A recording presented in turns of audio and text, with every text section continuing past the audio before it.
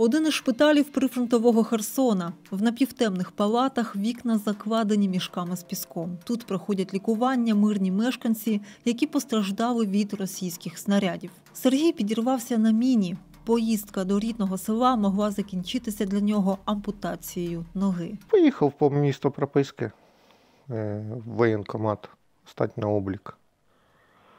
І недавно похоронив батька. Пішов до нього на цвинтар повбирати, тому що можливості не було раніше приїхати. І коли йшов на цвинтар, відійшов в сторону. Пам'ятаю дим, маленький вибух, камні. І все.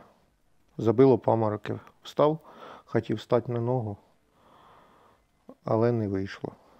Штаніна в крові і кісточка набік. Почувши вибух, односельці кинулися на порятунок. Допомогли Сергію дістатися найближчої лікарні, але місцеві медики не могли надати йому всю необхідну допомогу на місці. Треба було терміново їхати в Херсон. Лише наступного дня волонтери під обстрілами вивезли чоловіка до обласного шпиталю. Реабілітація може тривати декілька років. Кістка перебита повністю. Мені дуже повезло. Кажуть, люди, що з таким, ну, ну, такі травми, якщо стаються, то рідко вдається врятувати ногу. Мені, ну, мені пощастило, дуже пощастило. Через російську агресію третина території України перетворилася на мінне поле під більшою загрозою території поблизу лінії фронту. На сьогодні це Донецька, Херсонська, Харківська, Запорізька області. Сергій постраждав на Херсонщині, найбільш забрудненому мінами регіоні. Багато таких випадків сталося, що і трактора, і машини, ну і просто такі, як я, люди, які вийшли, не мали необачність зійти в сторону з дороги, там, де всі ходять. І теж залишалися такі в них травми.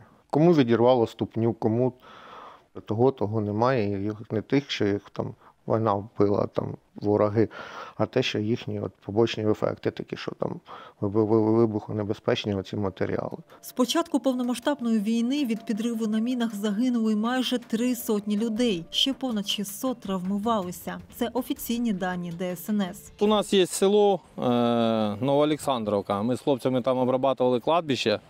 Возле кладбища дві ракети терчить. І коли я почав обходити кладбище зайшов знизу, то там вже було мінне поле. Воно замінірувало мінне поле возле кладбища. Зачем, навіть не розумію. Якщо ми виявили, наприклад, ми зайшли на кладбище і виявили, що там ракета і там небезпечно, то кладбище закривається. І ми працюємо.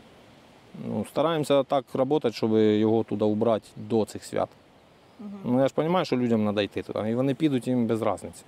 Терчить там ракета, не терчить. Щодня без вихідних сапери очищають українську землю. Кажуть, на цвинтарях найчастіше росіяни залишають розтяжки. Крім таких сувенірів, досипають вже після того, як відступили на лівий берег Дніпра. На мирні міста та села скидають протипіхотні міни. Обичний боєприпас ракетний, він вистрелює і вони е, спускаються на парашутах. Коли вона приземляється, вона в неї там, там лапки є, 5 чи 6 штук, вони розкладаються, як вентилятор.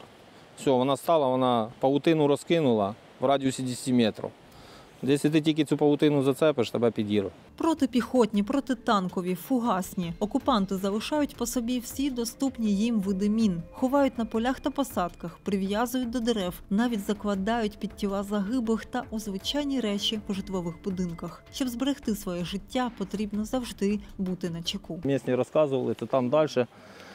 Такий самий перекресток, на ньому е, сняли 96 противотанкових.